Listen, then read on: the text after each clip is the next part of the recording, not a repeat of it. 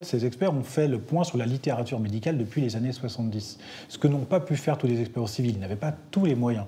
Ici, on a trois experts qui avaient des moyens, on va dire, quasiment illimités et qui ont pris le temps de tout analyser. Malgré tout ce qu'a pu dire Sanofi, la responsabilité de Sanofi, elle est évidente. On a parlé de faux, de graves défaillances. La firme, c'est le, terme utilisé par les experts, a manqué à ses obligations de vigilance, etc.